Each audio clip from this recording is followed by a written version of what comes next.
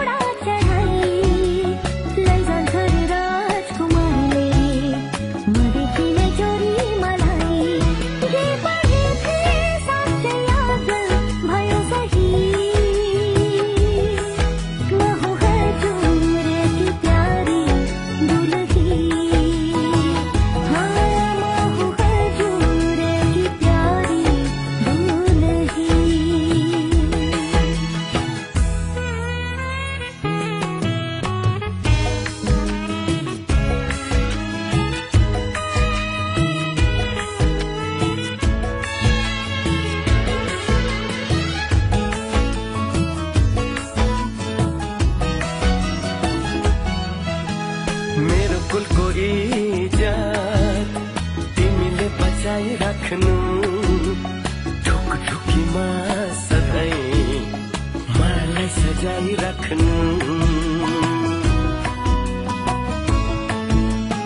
मेरो कुल को इजात तिमीले बचाइ राख्नु। ढुक ढुकीमा सधैँ मलाई सजाई रखनू। घरी घरी घुंटो खोली हाँसे बोले पनी।